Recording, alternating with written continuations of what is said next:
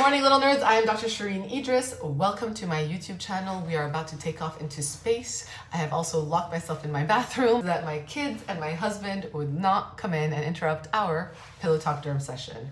We do this every Saturday morning where we debunk skincare myths, we talk about beauty trends, and we dive in deep into different ingredient stories. So if you've never joined, welcome. You are now officially a nerd.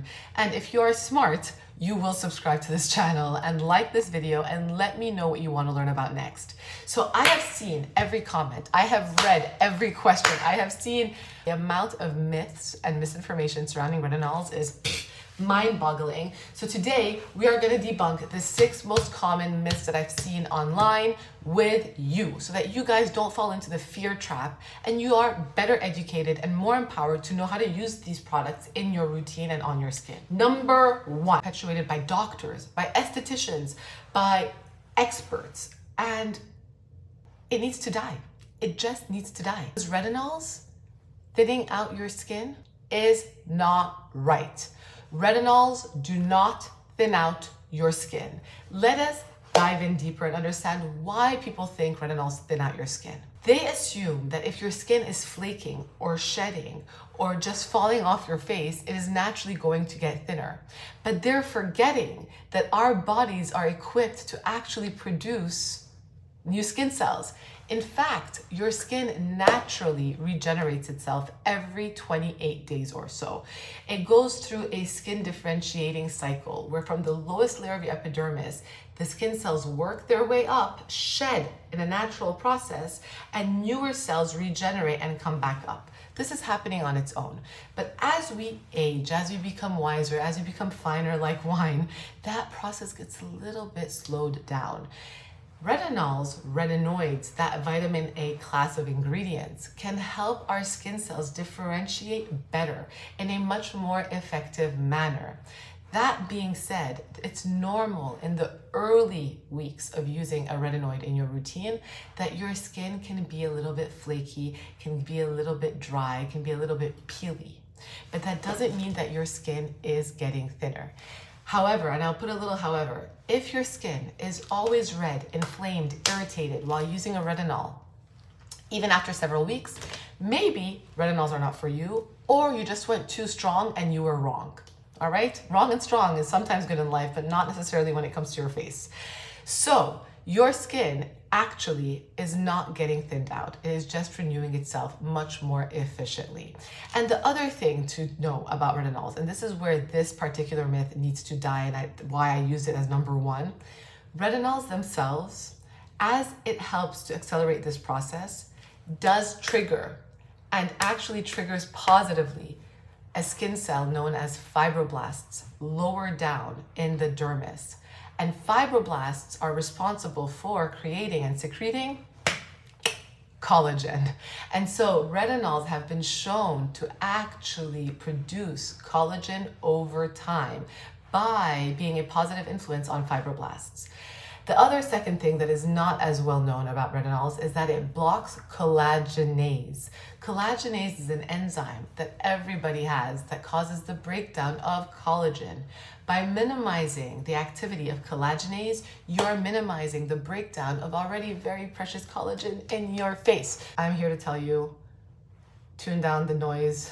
It is noise, it is not fact. Number two, retinol exfoliates your skin. And I thought this was a very smooth segue because we talked about retinols making your skin flake, making your skin peel. So people then think, oh, peel, exfoliation, it's an exfoliant. Retinols are exfoliating your skin. No, they're not. Retinols do not exfoliate your skin, okay? They just don't exfoliate your skin. Retinols and I am actually mistaken by calling them retinols. We should just all be calling them retinoids, but everybody calls them retinols. It's like the anti-aging thing. It's my own personal struggle. I just had to vent and confess. But retinols or retinoids are vitamin A derivatives, okay? Exfoliating acids are not vitamin A derivatives. So what the hell does that mean? You didn't tell me anything. No, I did not.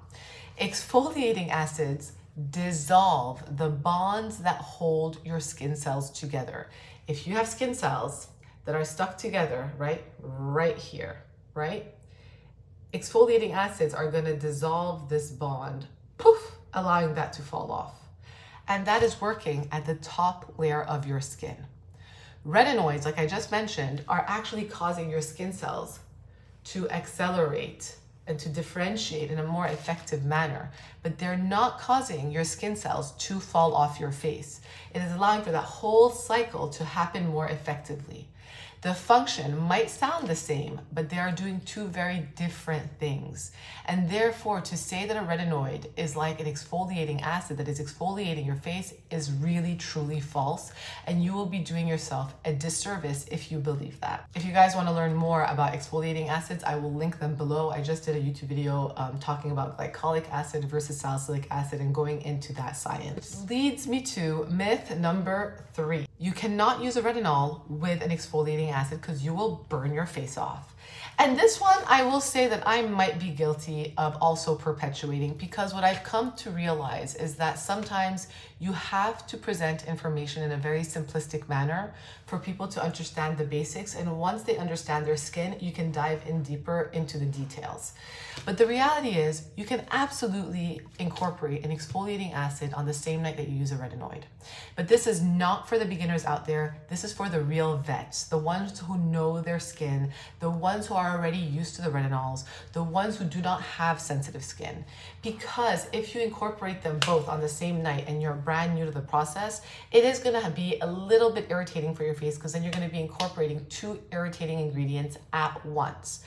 But the reality is, once you know where you stand and you know how you respond, you can absolutely incorporate both at once. And you're actually going to see potentially better results over time as long as you do not get irritated or inflamed that is always the golden part of this discussion, the actual asterisk that should not be overlooked, because you're going to allow for the retinoids to work more effectively on your skin, because that dead noise on the superficial aspect of your skin would have been taken off, and you don't need to actually go through that in order for the retinol or the retinoid to work its magic. When in doubt, don't sweat it. Just alternate the nights. So if you're going to exfoliate on average three times a week at night, because I do prefer exfoliating at night, on the other four nights, use your retinol. Okay. That is basically my best rule of thumb because Ideally, you do not want to exfoliate every night. And if it's hard for you to keep track of which night you're doing which, just alternate them. Monday exfoliation, Tuesday retinol, Wednesday exfoliation, Thursday retinol, Friday exfoliation, Saturday retinol. And Sunday, you can either drop it all and just kind of moisturize or use a retinol. All right, myth number four. What else do people say we cannot mix with retinol? And this one always boils down to vitamin C. This is one that people love to act like they are chemists and they're like, oh, well, it's the pH of the vitamin C and the retinol are going to like, you know, counterbalance one another and they're not going to work.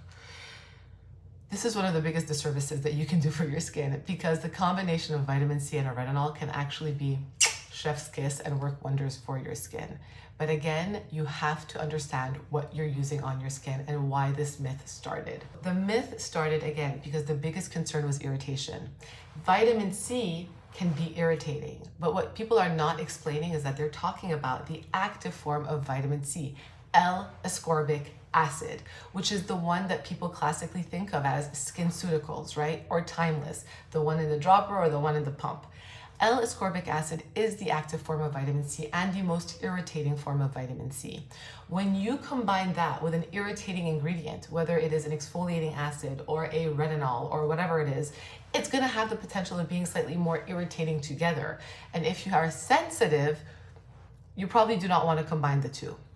The other misconception about vitamin C and retinol is pH, and that's what I meant by the chemist. Everybody wants to act like a chemist. Vitamin C's are often formulated at a lower pH. They are obviously acidic, whereas retinols are usually formulated at a higher pH. And the idea is if you put both of them at the same time on your skin, they're not functioning at the right pHs and they're not gonna work and they're gonna work less effectively. The reality is most skincare products, when applied to the skin, reaches the skin's equilibrium in terms of pH pretty fast. So so the pH of one product is not going to really alter the pH of another product.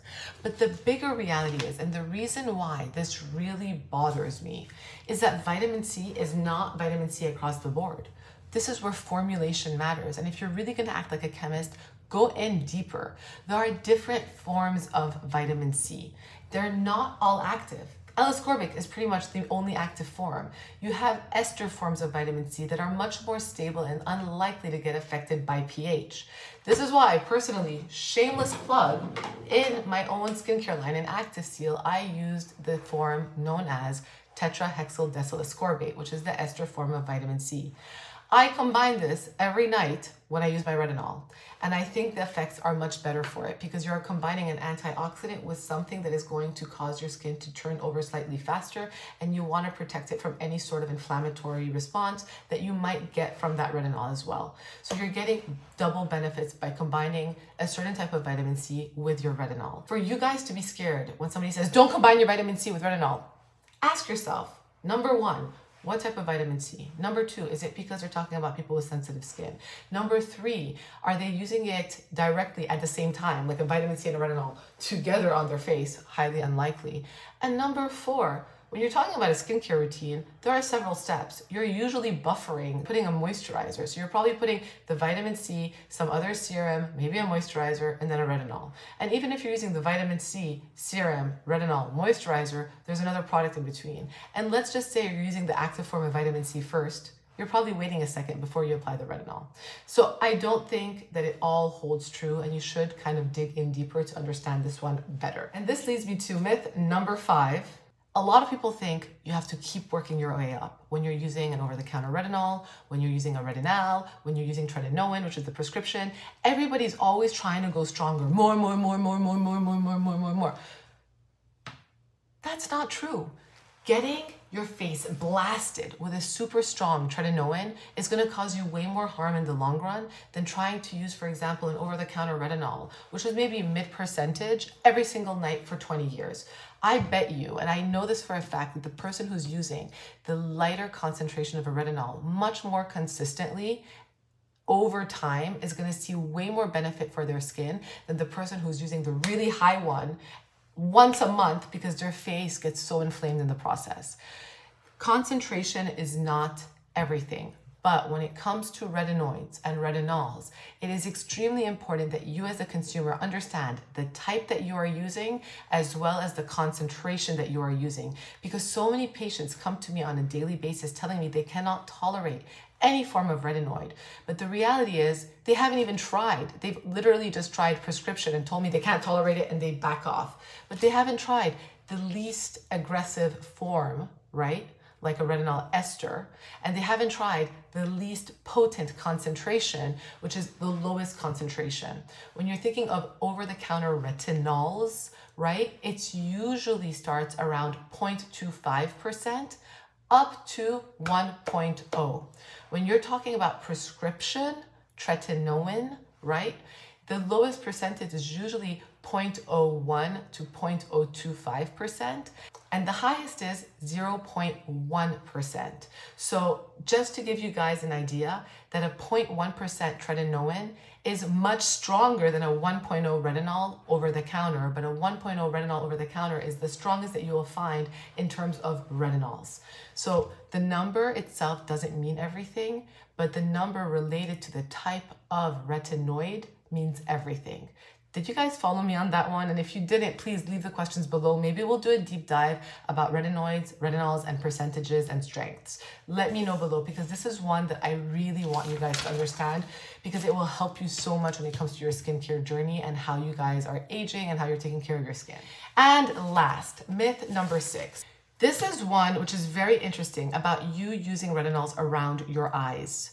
And it is a misconception. However, recently there were two articles that came out one in the Journal of Clinical and Experimental Ophthalmology and one in the Journal of Ophthalmology, where they say and they show that using any sort of retinol around your eye is going to increase your risk of getting dry eye disease. But there's several issues with these two articles. Number one, dry eye disease is, I'm not an ophthalmologist, right? This is the beyond the scope of my level of expertise, but dry eye disease is multifactorial. Many things lead to dry eye disease.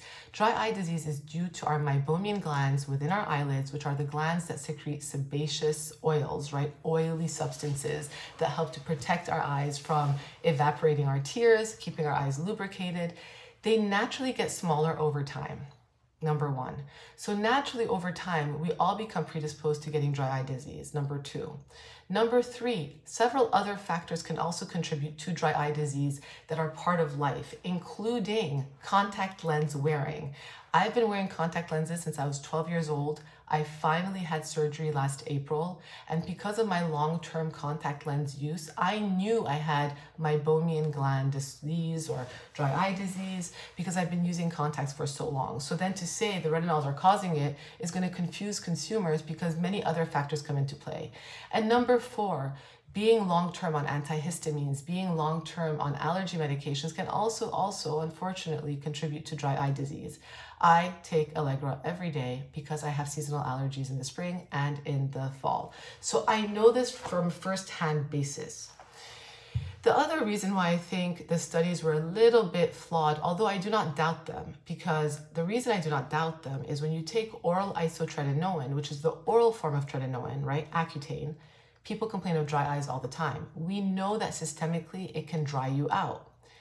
If you're applying your tretinoin, which is the most potent form, not retinol, not over-the-counter retinol, on your eyes, it can get seeped into your eyelids and affect your meibomian glands.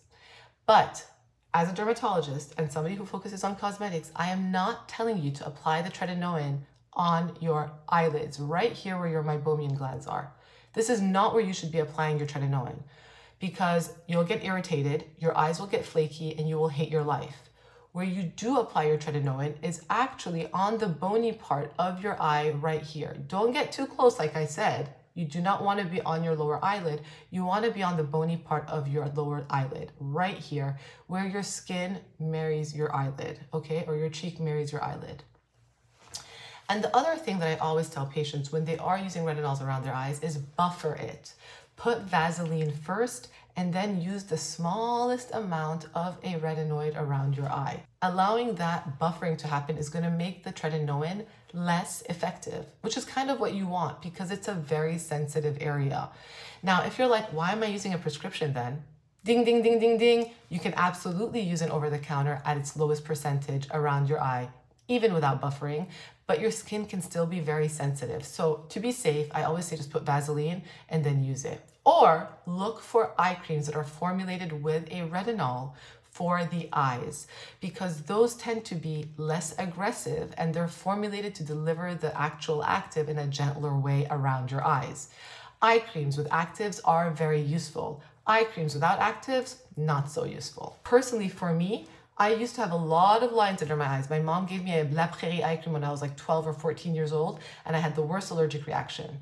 Over time, I have been using retinols around my eyes, and I've done microneedling, and I've done PRP. Those are the three things that I've been doing for my eyes, and I'm nearly 40 years old, and they have worked miracles because I don't see as many fine lines as I used to, and they used to be much deeper. You can ask my mom. Things that you hear are not always true. If you really want to know the things that are true about retinols, don't use them here most people cannot tolerate them here, including yours truly, and you will always kind of shed like a snake. The neck and the chest are much more sensitive, so don't think you can just extend down when it comes to retinols. You have to use a moisturizer first and use a much less percentage when it comes to the neck and the chest. If you are pregnant, do not use a retinol. That is absolutely true. It's not worth the risk. Oral form, isotretinoin, is a category X, right? Immediate kind of abortion, unfortunately, if you take it and you get pregnant.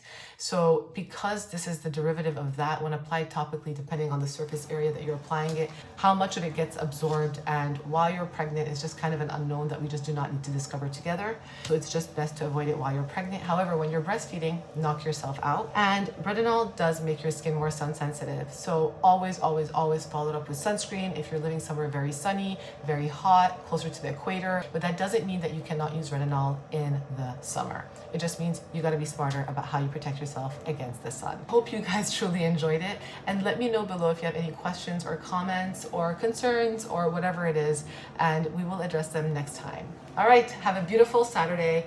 I'm off to space. See you guys later.